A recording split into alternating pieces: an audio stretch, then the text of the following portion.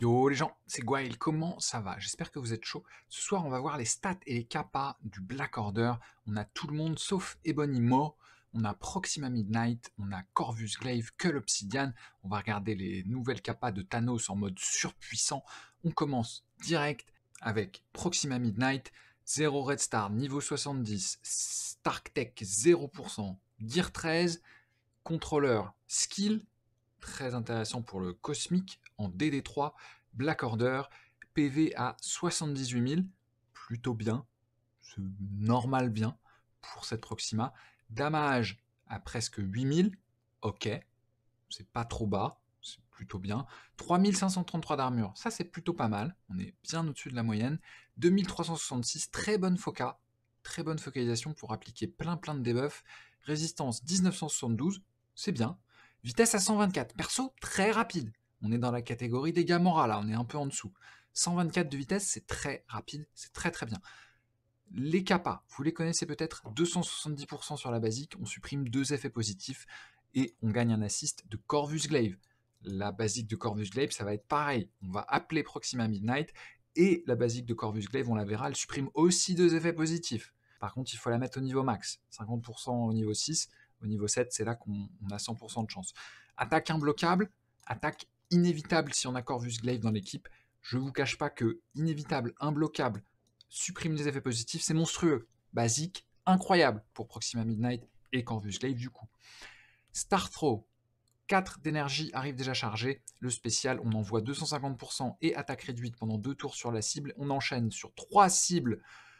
On met 200%, on met attaque réduite aussi pendant 2 tours les esquives cassent la chaîne. Un spécial très sympa, mettre attaque réduite sur presque toute la team en face, c'est bien. Pendant deux tours, c'est très bien. Très très bon spécial. Ulti qui coûte 5, qui arrive avec 3, 300 dégâts, 300% de dégâts perçants. Et on supprime 50% de barre d'action. Il faut le niveau max, sinon c'est 25%. Un peu moins fort. On applique stun et slow. On étourdit et on ralentit. C'est très très fort. La combinaison des deux est encore plus forte. Euh, ça, c'est l'ultime. Le passif de Proxima, à l'apparition, elle se donne vitesse augmentée. Au début du tour de Thanos, elle donne une pierre d'infinité et elle lui donne vitesse augmentée. Il me semble qu'il y a une modif qui doit arriver là-dessus. Euh, je vous reconfirme ça éventuellement dans les sous-titres. On verra. Ce caractère ne peut faire ça qu'une fois par match, évidemment. On ne peut pas donner une pierre d'infinité à chaque fois. C'est qu'une seule fois. Au début de son tour, on va supprimer Fufu sur l'ennemi qui est le plus blessé ça, c'est plutôt intéressant. On a 50% de chance au niveau 4 et au niveau max, on a 100% de chance de supprimer une fufu. C'est très bien. On gagne 30% et on donne 30% de focalisation à tous les alliés du Black Order et à Thanos. Proxima Midnight, plutôt bon perso. J'aime beaucoup cette basique. Très bon spécial. Et un ulti qui est assez vénère. Euh, un perso qui va beaucoup bénéficier des RS et du buff de focalisation, tout ça, tout ça. Passif au max, euh, pas mal de capacité à maxer. Voilà, perso qui devrait coûter cher, mais qui est plutôt bon. Proxima Midnight, Corvus Glaive, au niveau de ses stats, lui c'est un cogneur. Hein. Cogneur, skill toujours, donc très intéressant toujours pour le cosmique en DD3. 70 000 PV, donc un peu plus bas que Proxima. Pour un cogneur, c'est un peu dommage. 8000 dégâts, très bien, 8200 presque. Très bien, normal pour un cogneur. Armure à 3200 presque, un petit peu en dessous. C'est bien, euh, pour un cogneur, on est toujours assez content. 2147 de focalisation, ça c'est bien. C'est plutôt, très bien. Résistance 1800, bon, c'est plutôt normal, normal bien. Vitesse à 101, eh, pas incroyable. Vitesse, vitesse. La basique qui met 180% de perçant et qui supprime deux effets. Donc euh, c'est encore plus fort que l'autre. Hein. L'autre, elle, n'est est pas perçante. Celle-là, elle est perçante. Et euh, comme, son, comme hein, perçant et il supprime un effet. Proxima, elle fait, elle fait pareil. 190, hein. elle supprime son effet, et 17 de perçant, comme euh, les assists de tout le monde. Mais lui, full perçant, et euh, supprime son effet sur l'assist, donc toujours très très intéressant. Et attaque imbloquable et attaque inévitable si on a Proxima en allié. Ok, ça c'est la basique. Le spécial, on envoie 400% de perçant, ça coûte 5, ça arrive à 3. 400% de perçant, ça c'est très très bien. Et on ignore la provoque et on ignore les fufus.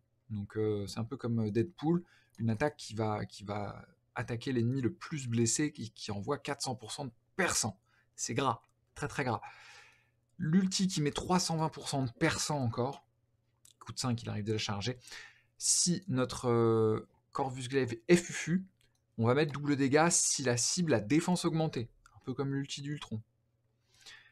Et on envoie aussi sur les cibles adjacentes 240% de percent.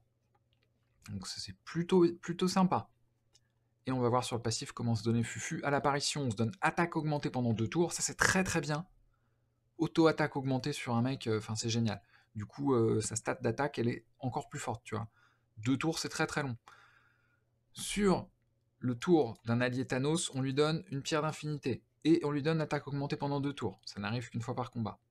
Quand un ennemi passe sous les 50% de santé, on gagne Fufu. Un stack de Fufu. Jusqu'à un maximum de 2. Quand on est Fufu, en plus, on a 40% de chance de crit. Et 20% de dégâts critiques en plus. Donc c'est très intéressant d'être Fufu, surtout cette, sur, cette, euh, sur cette ulti là. Si la cible a défense up, euh, on devrait pouvoir envoyer du bois. Hein. Si elle a défense down en plus, évidemment ça va être très très gras. On va gagner 30% de dégâts et donner 30% de dégâts à toute la team Black Order et Thanos. Très bien. Euh, jusque-là, on est très content. Que l'Obsidian, le tank, un protecteur bio, beaucoup moins bien. Cosmic toujours, Black Order, 134 000 points de vie. Presque 135 000 pour un tank.